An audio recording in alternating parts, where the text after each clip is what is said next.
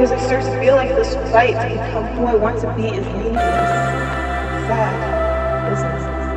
I mean, yes, I can give a smile and distract myself with sleep and videos on my phone at night.